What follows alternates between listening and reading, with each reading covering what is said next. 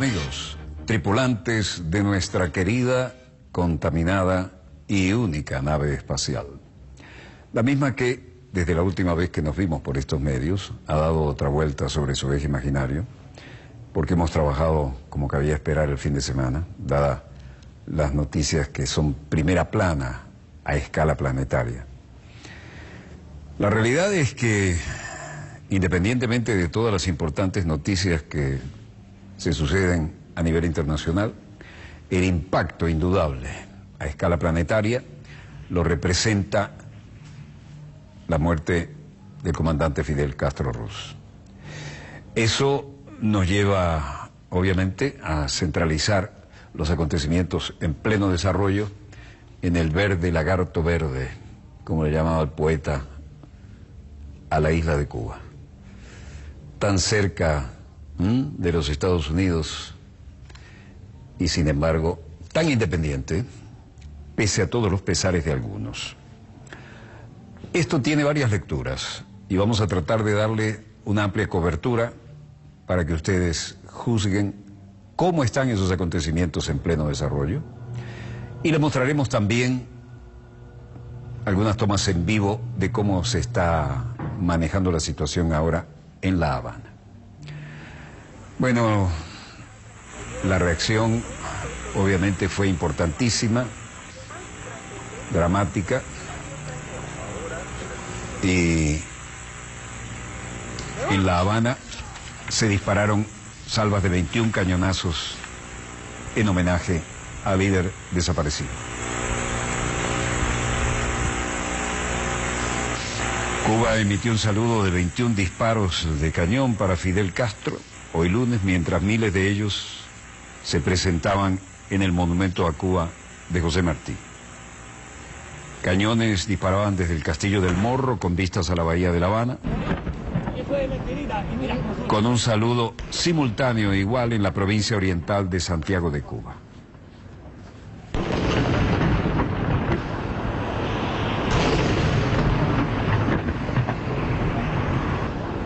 Desde el morro al fondo se disparó la salva de 21 cañonazos. Los cubanos observaron el evento de distintas partes de La Habana. Ya que es uno de los hombres más, o es el hombre más grande del mundo, de la historia, ¿tú me entiendes? Ya que eh, ha, dado al mundo a conocer, ¿tú me entiendes? La verdad en, eh, a, a favor de la humanidad. Fidel murió el viernes a la edad de 90 años, una década después de abandonar el poder debido a la salud y cederle el mando a su hermano Raúl Castro. Admirado por personas del mundo que lo vieron como revolucionario cuando se enfrentó a los poderosos Estados Unidos y criticados por otros, especialmente en la gusanera de Miami. Salvas de artillería, gigantescas muestras gráficas para rendir tributo a Fidel Castro desde hoy hasta el 4 de diciembre. Las Fuerzas Armadas Revolucionarias, con motivo del homenaje póstumo que el pueblo le tributa al comandante en jefe de la Revolución Cubana, cumplieron hoy con ese ritual militar. Y a partir de ese momento, el lunes 28 de noviembre, se disparará una salva de artillería cada hora hasta las 6 de la tarde.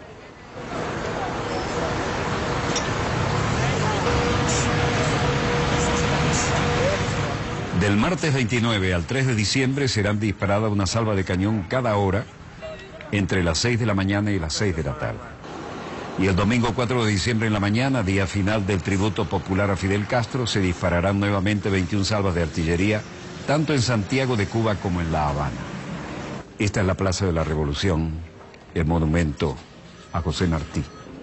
Al pie, la iconografía inolvidable del hombre que cambió la geopolítica del continente.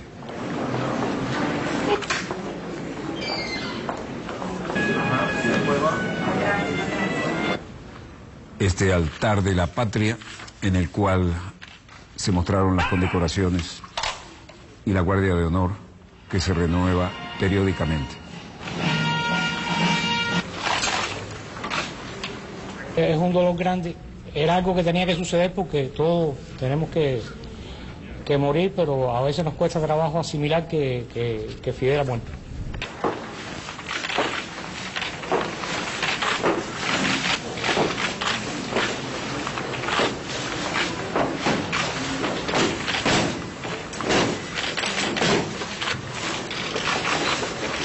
Cambio de guardia, solemne, con ostensible bracelete de luto en el brazo izquierdo.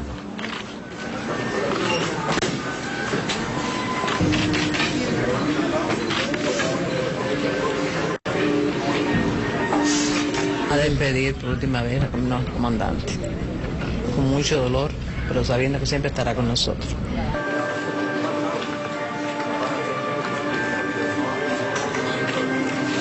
Así lo decía Berta Corrales, representando el sentir popular. Una interminable cola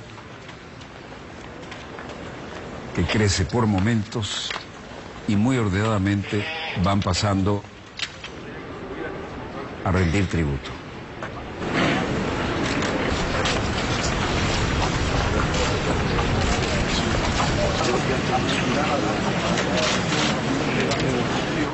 Cenizas han sido instaladas en ese emblemático lugar de La Habana, donde permanecerá dos días. El pueblo cubano salió a rendirle tributo en el mismo emblemático escenario en el que pronunció la mayor parte de sus inolvidables discursos oficiales. El memorial a José Martí en la Plaza de la Revolución abrió sus puertas para que los cubanos pudieran despedirse de Fidel a la misma hora que comenzaba este homenaje, se dispararon simultáneamente en La Habana y en Santiago de Cuba 21 salvas de artillerías. Estas son las legendarias escalinatas de la universidad, donde comenzó a demostrar sus dotes de líder y orador.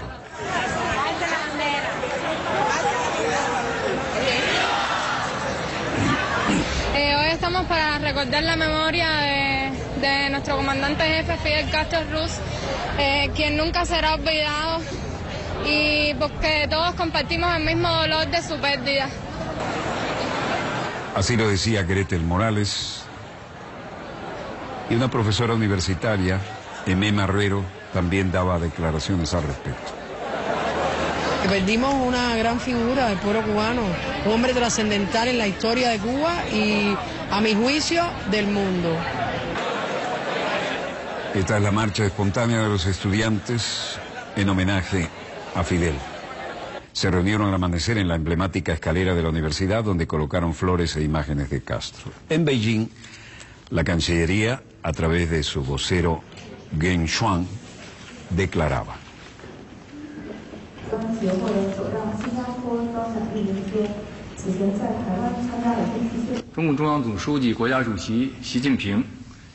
El secretario general del Partido Comunista de China y el presidente Xi Jinping han enviado un telegrama de condolencias al primer secretario del Comité Central del Partido Comunista de Cuba, presidente del Consejo de Estado y del Consejo de Ministros, camarada Raúl. El primer ministro chino Li Keqiang también envió un telegrama de condolencias al presidente Raúl y ahora estamos haciendo planes para asistir al funeral.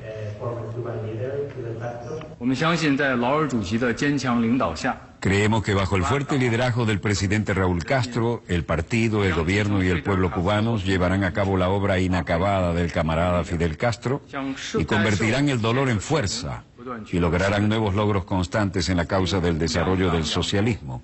Los gobiernos y el pueblo de China y de Cuba seguirán fortaleciéndose y desarrollándose. China espera que Cuba continúe en la voluntad del rumbo marcado por Fidel Castro. Funcionario chino recordó también que el presidente de su país, Xi Jinping, y el primer ministro Li Keqiang no solo enviaron sus condolencias, sino que harían lo posible por estar presentes. La Embajada de Cuba en Beijing amaneció este lunes con ramos de flores y mensajes de condolencia por el fallecimiento de Castro. Sus muros exteriores así lo expresaban, donde fueron colgadas varias imágenes del líder cubano, así como de su hermano Raúl Castro, tomadas durante sus viajes oficiales al gigante asiático en 2003 y en 2012 respectivamente. China y Cuba mantienen una afinidad ideológica, pero las relaciones entre ambos países fueron distantes entre los años 60 y los 80 por la mayor cercanía del castrismo a la Unión Soviética en esa etapa gran rival político del maoísmo durante la época. En Hanoi, Vietnam, el ministro de Relaciones Exteriores y el viceministro Pham Binh Minh se hicieron presentes para presentar también sus condolencias. Máximos líderes vietnamitas rendieron tributo a Fidel Castro. El homenaje de los estadistas lo inició el secretario general del Partido Comunista Nguyen Phu Trong.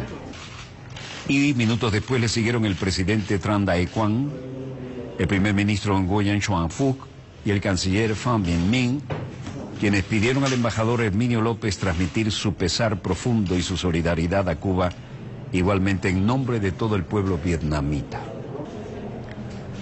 Luego de expresar su mensaje, Futon se refirió a Fidel Castro como un gran líder del movimiento comunista internacional y evocó la frase, por Vietnam estamos dispuestos a dar hasta nuestra propia sangre, frase que hiciera famoso Castro.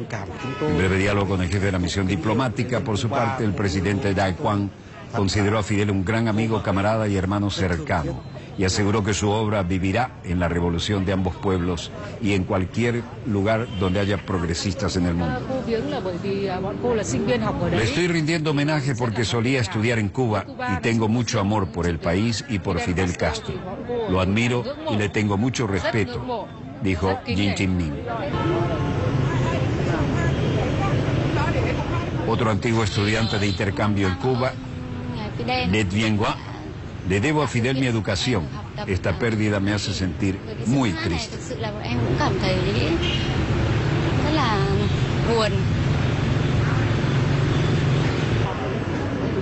El primero que declaraba era el doctor Fan Dong Chin y dijo, vine aquí porque me enteré que Fidel Castro falleció a los 90 años. Nuestro sentimiento por el amado líder del pueblo cubano no tiene fin. Estamos de luto por su muerte. Pyongyang, Corea del Norte. Al oír la triste noticia de que el camarada Fidel Castro Ruz, líder supremo de la revolución cubana, falleció inesperadamente, le expresé profundas condolencias y a través de ustedes al partido, al gobierno y a los pueblos cubanos y a los familiares de la familia del fallecido, citaba un comunicado oficial. KRT News, aunque murió, las apreciadas hazañas que han realizado permanecerán para siempre en los corazones de los pueblos de nuestros dos países y en los corazones de todos los progresistas de la humanidad.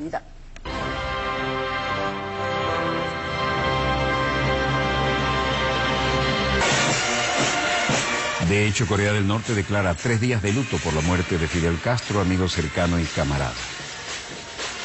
Mientras tanto, en Luanda, Angola,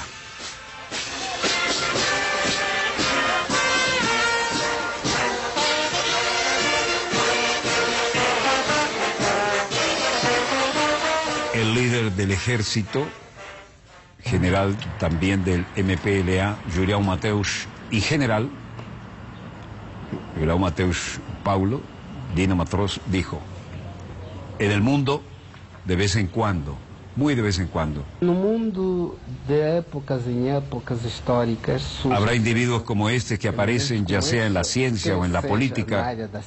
Estos individuos son como nuestro Mandela y cuando nos dejan, nos dejan con una gran brecha, un gran vacío y un anhelo. O nosso Mandela e tantos outros que nos deixaram ao longo dos tempos, não é? Deixam um vazio e deixam saudades, porque, seja como for, para uns Fidel é ditador. Porque para algunos Fidel era un dictador, pero para nosotros no lo era. Era un revolucionario, era una figura carismática, incluso sus enemigos occidentales lo respetaban. Es difícil para gente así existir en la vida en este mundo de hoy. Estas son personas raras, son genios. Pienso que hay una brecha y un vacío que siempre quedará. Fidel es Fidel, como se dijo, y Mandela es Mandela. Y es así para el expresidente de Angola, Agostinho Neto, y para muchos otros. É um vazio que sempre ficará. Fidel é Fidel, como se dizia, e Mandela é Mandela, como tantos outros. Como foi Agostinho Neto e tantos outros. Y el hombre de la calle, un empleado público, Pedro Nolasco, dijo, Fidel dejó una brecha y un vacío. Fidel Castro también es hijo de Angola, es hijo de África. Y mucho ayudó solidariamente a este país. Muito. Fidel Castro é filho da Angola, filho da África. Ajudou muito esse país, muito, muito, muito, muito. Fernando Abel dice, nadie, nadie está contento con la muerte de Castro. Esto es algo muy triste. Angola pierde a un hijo, pero el legado de Fidel vivirá, afirma embajador. Representante permanente de Angola ante las Naciones Unidas, Gaspar Martins, afirmó hoy que con el fallecimiento del líder cubano Fidel Castro, el país africano pierde a un hijo, aunque su legado perdurará por siempre.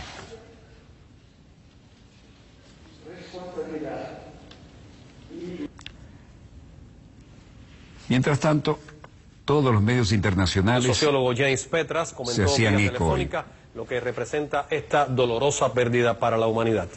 James Petras, usted Petras. conoció personalmente al comandante en jefe. ¿Qué representa esta pérdida para usted y para el mundo? Primero, Cuba y Fidel era el gran internacionalista, conocido mundialmente por los voluntarios cubanos que fueran a derrotar el ejército racista de África del Sur, ayudando a liberar Angola, Mozambique, incluso facilitar la, la victoria de Mandela en África del Sur. Tenemos la gran historia de Fidel como el líder de los países no aliados, eh, los 90 países del mundo que reconocían Fidel Castro como el gran líder del tercer mundo contra el imperialismo.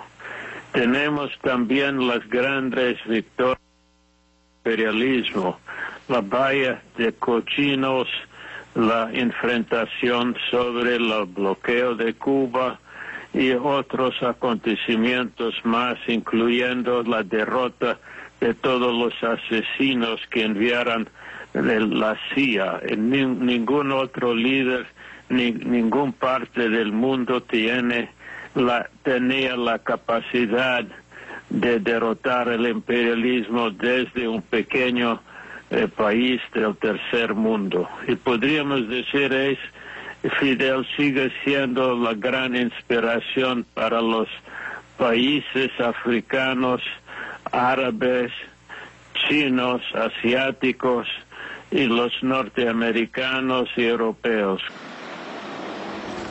James Petras, sociólogo estadounidense, conocido por sus estudios sobre el imperialismo, la lucha de clases y los conflictos latinoamericanos, profesor en la Universidad de Binghamton de Nueva York, la Universidad de Pensilvania, profesor adjunto de St. Mary University de Halifax, Canadá, autor de 62 libros publicados en 29 idiomas y más de 600 artículos de revistas profesionales. Mientras tanto, en Madrid también había noticias, pero en el lejano oriente nadie había dejado de reconocer en todos los países asiáticos la labor cumplida por Fidel Castro. Y esto es una emblemática, en el pico turquino creo que fue esta foto emblemática con la mochila. Los países asiáticos siguieron, como los de Vietnam, rindiéndole homenaje y firmando el libro de condolencias.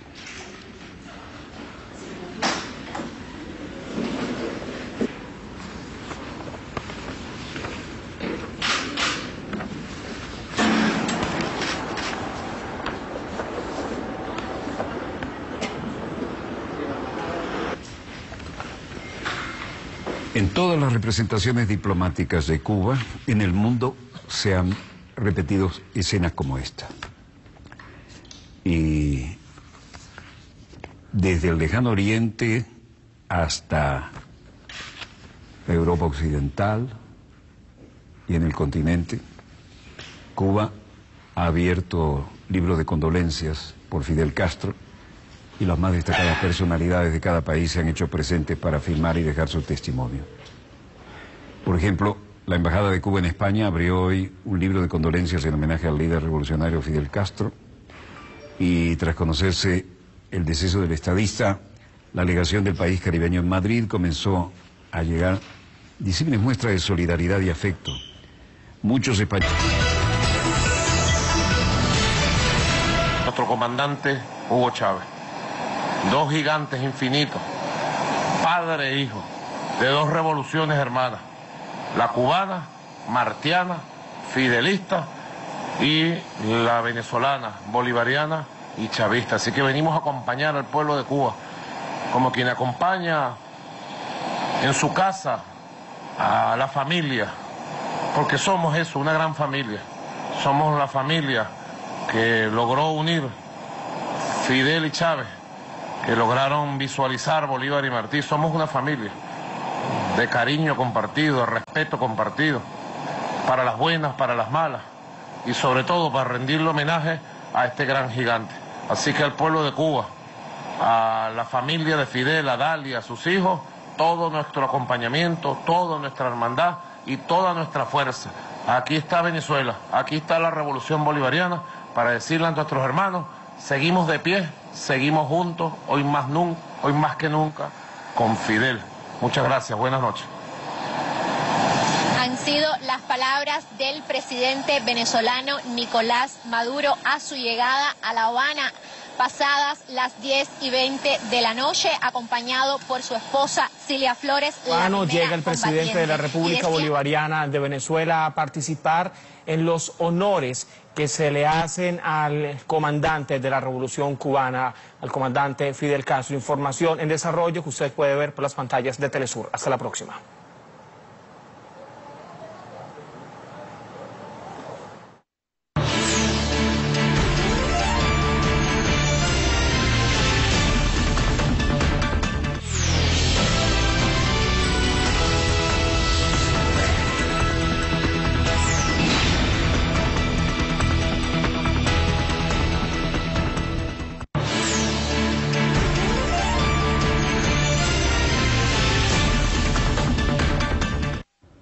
Volvemos con más acontecimientos en pleno desarrollo y estamos viendo, cuando decimos en pleno desarrollo, es en pleno desarrollo.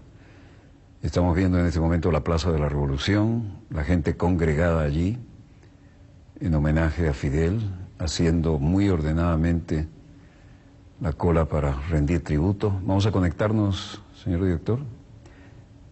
Esto son los acontecimientos en pleno desarrollo directamente desde La Habana en este mismo momento una multitud que no cesa ni de día ni de noche a rendir tributo allí donde está la estatua de Martí y por supuesto donde se han realizado históricos, gigantescos, multitudinarios encuentros en los que llevaba la palabra el desaparecido líder cubano.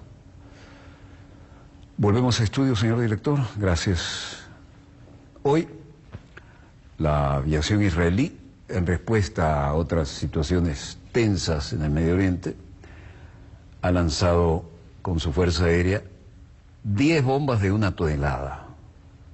Una bomba moderna de una tonelada es lo que podríamos llamar una rompemanzana. ¿no? Es una cosa apocalíptica para que está en la zona en que son lanzadas. Y esa es la información de última hora que tenemos, pero además hay alguna manera de ilustrarla, así que vamos con los acontecimientos en pleno desarrollo y una vez más el ciclo de nunca acabar acción-reacción en el Medio Oriente. Esto nos lleva al Medio Oriente y estas tomas satelitales nos indican que los cazas de última generación se hicieron presentes y lanzaron un ataque realmente contundente. Israel arrojó 10 toneladas de bombas sobre una posición de Estado Islámico en el Golán. La Fuerza Aérea atacó una instalación abandonada que estaba siendo usada por el Estado Islámico en el Golán, el Golán sirio, ¿no? En respuesta al ataque de ayer con proyectiles de mortero y armas livianas contra una patrulla israelí. El objetivo era una instalación abandonada por las Naciones Unidas cuando sus observadores fueron secuestrados por los terroristas islámicos hace dos años. En Wadi Siham, y que estaba siendo usada por los combatientes del Estado Islámico como base de operaciones, demasiado cerca de la frontera israelí. Toma aérea de la cabina de uno de los cazas atacante, viraje escarpadísimo para entrar en final para lanzar la bomba. Aviones de combate de la Fuerza Aérea lanzaron 10 bombas y los terroristas usaron el lugar como base de entrenamiento y arsenal aparentemente. La instalación estaba vacía cuando fue bombardeada, dijeron. Mientras tanto, Netanyahu, tras el ataque al ISIS, dice, respondimos con fuerza y les cobramos un precio doloroso y rápido. Netanyahu se refirió hoy ante la facción del Likud al ataque de las fuerzas de defensa israelí contra los objetivos del ISIS en el Golfo de Siria, en respuesta al fuego contra una unidad perteneciente a la brigada Golani, una de las brigadas de élite de la Fuerza Armada de Israel. En los últimos días ha habido intentos de atacar a nuestras fuerzas en la triple frontera. Respondimos con fuerza y les cobramos un precio rápido y doloroso a nuestros enemigos. No permitiremos que el Islam radical o cualquier entidad extrema abra fuego de frente contra nosotros y menos en los altos del Golán. Vean la, el muro, ¿no? Es un super muro. Yo crucé el muro de Berlín durante la Guerra Fría y era un enanito al lado de esto, pero este además es de altísima tecnología. Ahí está marcada por la eh, seña en azul cerca del lugar del, del ataque, las alturas del Golán. Netanyahu también respondió sobre la ola eh, creo que el trabajo voluntario hecho por judíos y árabes por igual es muy importante. Es un modelo de buena ciudadanía. Ya sabemos que algunos de los incendios fueron provocados. Pero por su parte, el ministro de Defensa, Avidor Lieberman, de Israel Beitenu, también hizo referencia al incidente durante la propia reunión de las facciones. En la margen occidental, en Ramallah, había movimientos interesantes. El eh, jefe de seguridad palestino, Adnan al-Damiri, daba declaraciones. Fatah logra quórum para su séptimo congreso, pese a la ausencia de la gente de la Franja de Gaza. Abu al-Haija, portavoz del presidente de la autoridad palestina y líder del partido Fatah, Mahmoud Abbas, ofrece una rueda de prensa para hablar de la situación. Adán al-Damiri dice, desde el principio, cuando se estableció el Congreso, las fuerzas de seguridad palestinas, incluyendo todas las unidades de seguridad, comenzaron a trabajar de acuerdo con un plan de seguridad precisamente para toda Palestina y Ramallah, específicamente porque el Congreso se llevará a cabo en Ramallah. Los invitados internacionales y árabes de todo el mundo, y el plan depende principalmente de dos cosas. En primer lugar, del sistema general de seguridad en este país, en segundo lugar, del monitoreo de información de inteligencia ante cualquier intento de hacer fracasar el Congreso.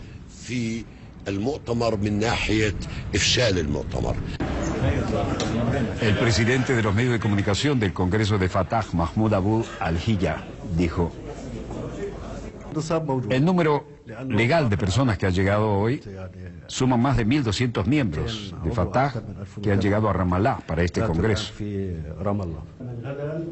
Y el miembro de Fatah en Gaza, Amani Rabah, dijo, Estamos aquí para participar en el séptimo Congreso de Fatah, para formar parte de los responsables de la toma de decisiones colectiva dentro de Fatah. Allí está previsto que se reúnan a partir del martes durante al menos cinco días 1.400 miembros del Congreso de Al-Fatah, llegados de Cisjordania, de la Franja de Gaza y de otros lugares del extranjero.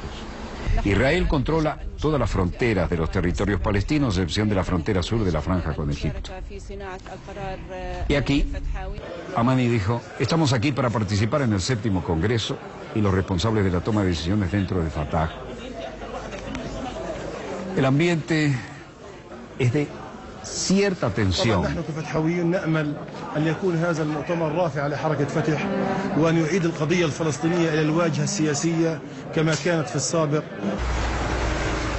Para llegar a la Cisjordania, los palestinos de Gaza, gobernados por los islamistas de Hamas y herméticamente aislada, deben atravesar el territorio israelí y someterse a muy estrictos controles de seguridad que les permitan eventualmente llegar a su destino. Siyasi sonuç doğurabilmesi için Avrupa Konseyi'nde belli bir çoğunlukla üye ülkelerin Ankara, e. Rusya açıkça e, bu saldırıda e, bulunan hava araçlarının El primer ministro turco Numan Kurtulmus decía, Rusia ha confirmado abiertamente a través de Vladimir Putin E, biz bu que los ataques e, de aviones a reacción uçak ya da İHA no les pertenecen y tomaremos las medidas necesarias después de revisar los registros de vuelo de la región y establecer si el ataque fue llevado a cabo por estos aviones de guerra. mahkemelerin e, PKK'lı teröristleri serbest bırakmaya başladıklarını biliyoruz. Hatta Avrupa'da e, Biliyorsunuz Otra çok pregunta, önemli. Kurt Olmuz. Elindeki adımlar atıldı. Bir Dijo, taraftan bu adımlar atılırken Hemos dado pasos muy importantes similares a las reformas. Por un lado, tomamos estos pasos, por otro lado, llevamos a cabo un trabajo meticuloso para eliminar a los elementos, se refiere a los seguidores del clérigo musulmán estadounidense Fethullah Gulen, esos elementos, eliminarlos de las instituciones estatales. Es obvio que tomará tiempo y deseo, por mí, quisiera que esto terminara mañana por la mañana, pero todas las instituciones estatales están trabajando meticulosamente y están llevando a cabo su trabajo. Estado de emergencia en Turquía continuará mientras sea necesario. Aviones rusos no están detrás de los ataques a los soldados turcos en Siria. Vean esto. Limpieza casa por casa. El presidente ruso Vladimir Putin ha confirmado a Turquía que el avión que llevó a cabo el ataque contra los soldados turcos no pertenecía a la Fuerza Aérea de Rusia. Y aquí estamos en Galicia, España, en Arteixo y en Tufions, en Vimianzo, y hay una racia. La policía española arresta a cuatro personas por sospecha de vínculos con militantes islámicos. Arrestó a cuatro personas sospechosas de estar involucradas en la red de inmigrantes con conexiones del Estado Islámico hoy mismo, y se cree que el Estado Islámico ha utilizado la red para contrabandear militantes en Europa vía Turquía entre los emigrantes que huyen de la guerra civil en Siria. Entre ellos figuran militantes involucrados en los ataques en París en noviembre de 2015.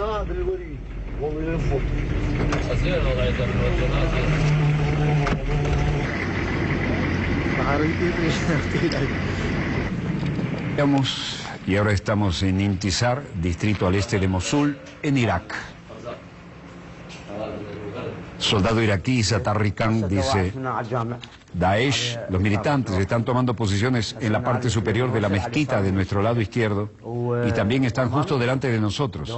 Si Dios quiere, avanzaremos en los próximos dos o tres días. Van tomando posiciones en cotas altas para dar cobertura de fuego y también poder contraatacar. Otro soldado iraquí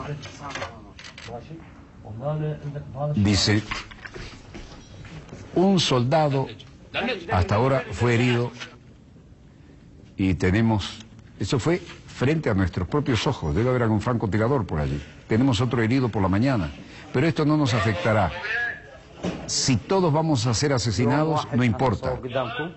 Moriremos, pero antes liberaremos a Mosul.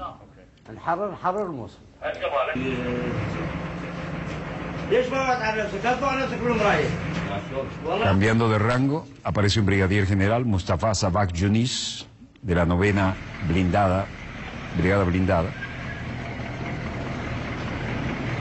Muy tensa y muy inestable la situación en toda esta zona.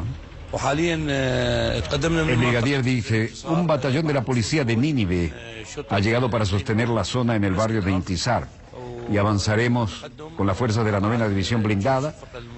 La 36 brigada avanzará hacia el área de Yunis al-Zabawi y el área de Anzab. Estamos preparando esto y será dentro de dos o tres días. Debe sentirse muy seguro para estar anunciando lo que va a ser dentro de dos o tres días. ¿eh? Nadie avisa al enemigo de esta manera, y menos frente a las cámaras de televisión. Un francotirador islámico golpea la unidad iraquí mientras el ejército avanza hacia Mosul. Siempre los civiles tratando de ver cómo sobrevivir y los destrozos son evidentes. Dos soldados agazapados detrás de otros agujeros en el techo se apresuraron a disparar. Llevaban a Omar Abdul Wahid, semiconsciente de 20 años, bajado en tramos de escaleras estrechas. En Beijing, el vocero Jing Xuan de la Cancillería decía hoy, China ya ha hecho declaraciones sobre estos temas a la parte que afecta a nuestra área en el lejano oriente, en Singapur, y pidió a Singapur, a Singapur que cumpla estrictamente con las leyes pertinentes al gobierno de la región administrativa especial de Hong Kong y que coopere con el gobierno de la región administrativa especial en el seguimiento del trabajo. China protesta contra Singapur por las tropas que aparecieron en Taiwán y además portavi- eh, naves de transporte de tropas fueron confinadas en Hong Kong la semana pasada, provocando las quejas de Singapur por parte del Ministerio de Relaciones Exteriores de China de mantener los lazos con Taiwán y que China considera una provincia separatista. China ya ha hecho declaraciones sobre esto a la parte de Singapur y pidió a Singapur que cumpla estrictamente con las leyes pertinentes de gobierno de la región administrativa especial de Hong Kong y que coopere con el gobierno. Así lo decía el vocero de la Cancillería china. Mientras tanto, precisamente en Beijing, visita importante. Designado secretario general de la ONU, visita por su propia iniciativa a China. Antonio Guterres inicia hoy una visita de dos días a China por invitación del gobierno de esta nación. Guterres, ex primer ministro de Portugal y que sucederá a Ban Ki-moon el próximo primero de enero, tiene previsto reunirse con líderes chinos y con el ministro de Relaciones Exteriores, Wang Yi, según adelantó la Cancillería. Entre las posibles cuestiones a tratar en la nación figuran la actual situación internacional, el futuro desarrollo de la ONU, la cooperación entre China y las Naciones Unidas y asuntos mundiales y regionales de interés común, según indicó el portavoz del Ministerio de Relaciones Exteriores de China, Geng Shuang. El vocero abogó porque la visita fomente la confianza mutua y determine la cooperación futura entre las dos partes. Hay que recordar que el pasado 13 de octubre los 193 Estados miembros de la ONU eligieron a Gutiérrez como, por aclamación además, ¿no? En una sesión de la Asamblea General, una semana después de su candidatura consiguiera la aprobación de los cinco miembros permanentes del Consejo de Seguridad, es decir, China, que está visitando ahora para agradecerlo, Estados Unidos, Francia, Reino Unido y Rusia. Muy fluida la relación entre Guterres y China y viene acompañado de una amplia delegación. Secretario General recién electo de las Naciones Unidas. Y aquí todas las declaraciones han sido desde Londres, Inglaterra, tocaban algo de esto, pero entraban a puntos más específicos. ¿no? La primera ministra británica dijo, el Reino Unido y Polonia han sido aliados cercanos en la Unión Europea y planeamos ser aliados más cercanos una vez que el Reino Unido se haya ido. El primer ministro británico Teresa dice que esperan un acuerdo anticipado sobre ciudadanos polacos en Gran Bretaña. Teresa May declaraba hoy que esperaba alcanzar un pronto acuerdo sobre el estatus de los ciudadanos polacos en Gran Bretaña, mientras que su gobierno se prepara para abandonar la Unión Europea. May dijo que había reiterado su plan para garantizar los derechos de los polacos y otros ciudadanos de la Unión Europea que viven actualmente en Gran Bretaña. Cabe recordar ¿eh? que Gran Bretaña también tuvo heroicos pilotos cubanos volando para la Real Fuerza Aérea en la Segunda Guerra, cuando Polonia estaba ocupada. Beata Zidlo, la premier, la premier polaca, dijo, gracias por este gesto de agradecimiento a Polonia y a la comunidad polaca en el Reino Unido. Y también quiero agradecer el apoyo brindado por el gobierno británico a los miembros de la comunidad polaca que sufrieron tras el triste incidente y los crímenes de odio en el Reino Unido. Usted reaccionó inmediatamente y continuamos con esas actividades para asegurarnos de que los polacos estén a salvo en este país. Luego, Beata Zidlo, como primer ministra polaco, agregó can take forward together with that greater strategic relationship. Thank you very much. La señora primera ministra me informó cuáles son sus próximos pasos con respecto al Brexit y mencioné que lo más importante para nosotros es que los derechos de los polacos sean respetados y que su derecho a trabajar en el Reino Unido estén garantizados. Atenas, Grecia. La Cámara de Comercio. Américo Elena. El ministro de Finanzas de Grecia, Euclides Sakalotos, dijo, creo que el gobierno griego ha implementado el rescate a la carta. Hemos implementado todas las reformas acordadas, hemos negociado de la mejor manera las cosas que sentíamos que eran irracionales o que no nos parecían socialmente aceptables. No puede haber más medidas más justas que estas, porque lamentablemente hay un desacuerdo entre el Fondo Monetario Internacional y algunos países europeos. Y luego dijo, no sexist. να συμφωνήσουμε τη μείωση των πρωτογενών... Convengamos en rebajar los objetivos del superávit presupuestario primario a 2,5% desde aquel 3,5% y el gobierno griego se comprometería a que la diferencia de un punto porcentual se cumpla y la sala fiscal creará, uni- se asignará únicamente la reducción de impuestos solo para las pequeñas y medianas empresas para poder impulsar la competitividad.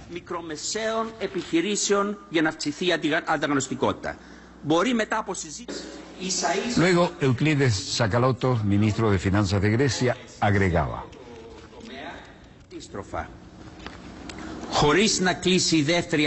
Sin concluir la segunda revisión no habrá una solución a la deuda. Sin una solución a la deuda no podremos incluir la flexibilización cuantitativa. Sin flexibilización cuantitativa no podremos recuperar el acceso a los mercados para finales de 2017 o como mucho 2018. El propio verso del tecnócrata neoliberal, ¿no? Ahí están pagando las consecuencias del paquetazo. Luego, miembro del Consejo Ejecutivo del Banco Central Europeo, Benoit Coeur, tuvo que declarar en esta bilateral y dijo, todas las partes interesadas en el programa de ajuste, la jerga neoliberal, ¿no? El paquetazo neoliberal. Todas las partes interesadas en el programa de ajuste griego se dan cuenta de que hay serias preocupaciones sobre la sostenibilidad de la deuda pública griega.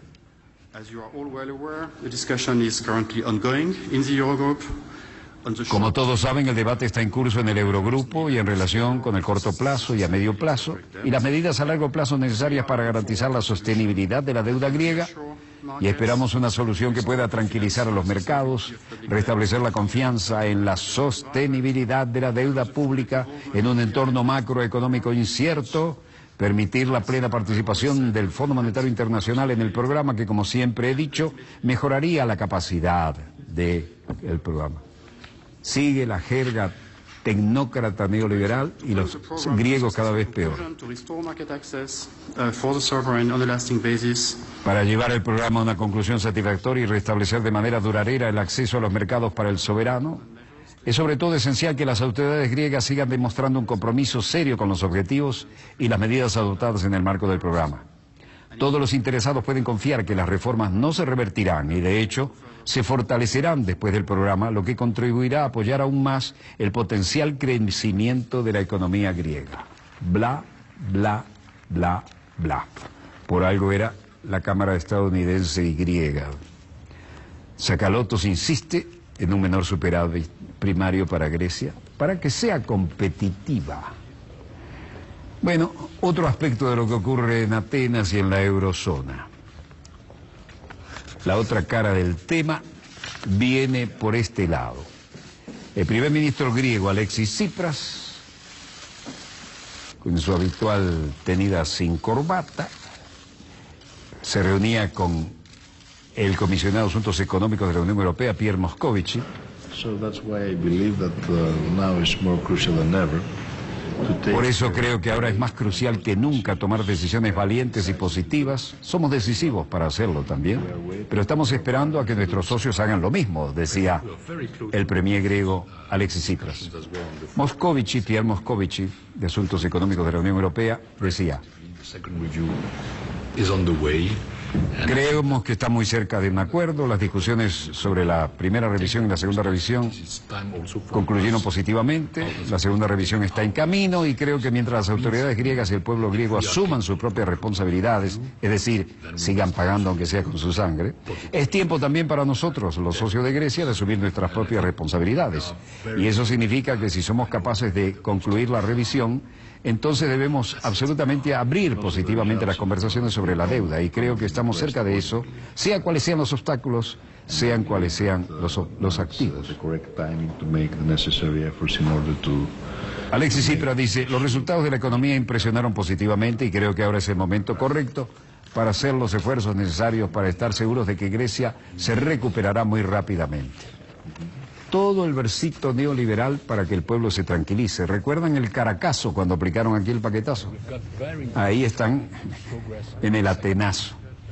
A la salida Moscovici dijo, Grecia tiene la capacidad de recuperarse y necesita y merece la confianza de sus socios.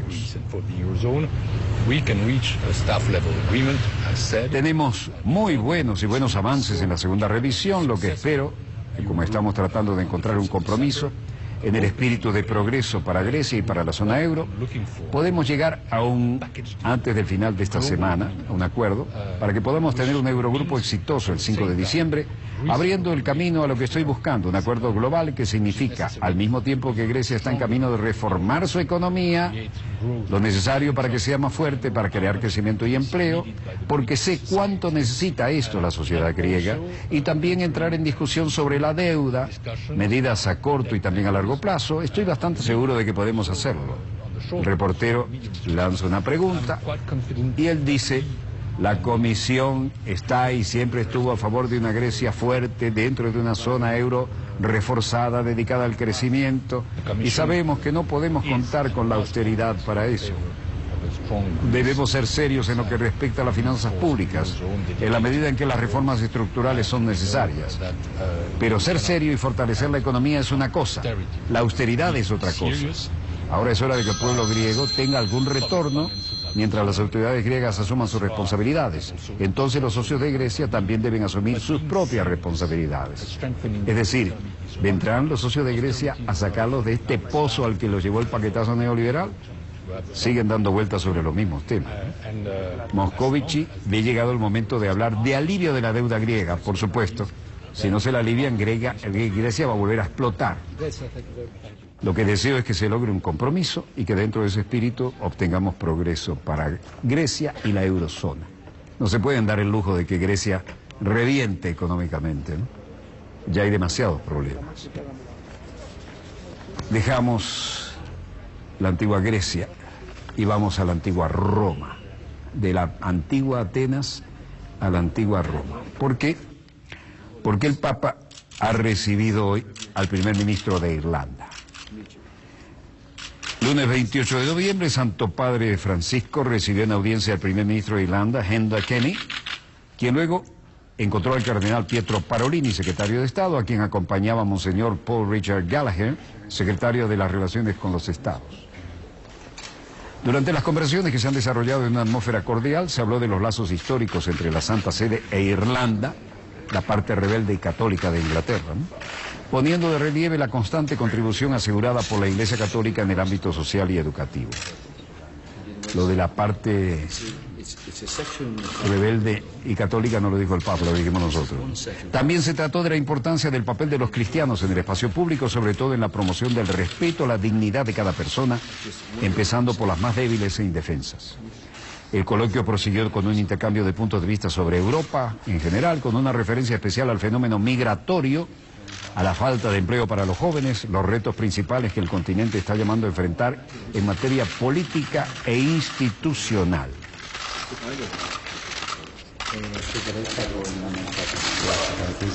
El Papa Francisco también tuvo un encuentro muy importante después de esta no menos importante reunión. Intercambios institucionales, medallas conmemorativas, textos. Ustedes recordarán a Stephen Hawking, un genio que se encuentra postrado en silla de rueda, donde casi nada le funciona bien excepto su privilegiado cerebro. Bueno, después de esta muy importante reunión, porque era la rebelde y católica Irlanda como parte del Reino Unido, el Papa recibió a Stephen Hawking en la reunión de ciencia del Vaticano.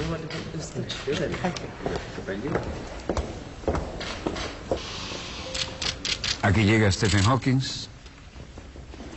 El Papa Francisco saludó al físico británico Stephen Hawking, que asistía a una reunión de científicos en el Vaticano. El Papa se detuvo, colocó la mano en el hombro de Hawking en su silla especial. Los científicos asistieron a la convención titulada Ciencia y Sostenibilidad, Impactos del conocimiento científico y la tecnología en la sociedad humana y el medio ambiente. Durante la reunión, el Papa Francisco instó a los líderes nacionales a implementar sin demora acuerdos ambientales mundiales para proteger a nuestra querida, contaminada y única nave espacial.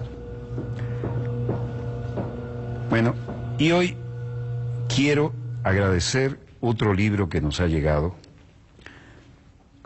y, que representa, bueno, para mi querido profesor Walter, este libro con mucho cariño, Juan Ramón Guzmán, Caracas. Y esto es nada menos que los escritos de filosofía política de Alfredo Maneiro, ¿no? Vamos a entrarle en detalle. Alfredo Maneiro, para los que saben de lo que es la costosa y peligrosa militancia de izquierda de otros años, sabrán que representa. Y aquí se le hace justicia con una edición importantísima, ¿no? Escritos de filosofía y política de Alfredo Maneiro.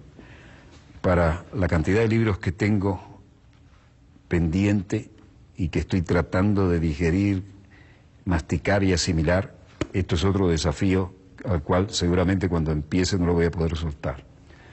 Bueno, hasta aquí nuestro dossier de hoy. La gente sigue circulando en la Plaza de la Revolución. Vamos a ver un momentico a Reuters, señor director. Esperando rendir tributo. ¿Mm? Esto está en pleno desarrollo, directamente desde la Plaza de la Revolución en La Habana. Interminable, ¿no? El, el momento de rendir tributo, sea de día o de noche, al desaparecido líder Fidel Castro. Volvemos a estudio, señor director. Muchas gracias. Y nosotros volveremos mañana, Dios mediante, cuando nuestra querida, contaminada y única nave espacial haya dado otra vuelta sobre su eje imaginario y estemos aquí para contarles la pequeña y gran historia de las próximas 24 horas. Desde el estudio 3 de Venezolana de Televisión, VTV, Tango Víctor, V corta, T, V corta. El canal pionero de la televisión venezolana, porque es heredero de aquel TVN5 de la Charneca del Cerro Marín, donde empecé a hacer lo que era el primer programa en todo el hemisferio con un satélite en vivo que venía de Europa. Finaliza aquí dossier, el decano de la información internacional vía satélite en todo el hemisferio occidental. Les habló Walter Martínez, su productor y conductor, quien les agradece el habernos permitido estar allí con ustedes. Disponga usted de las cámaras, señor director.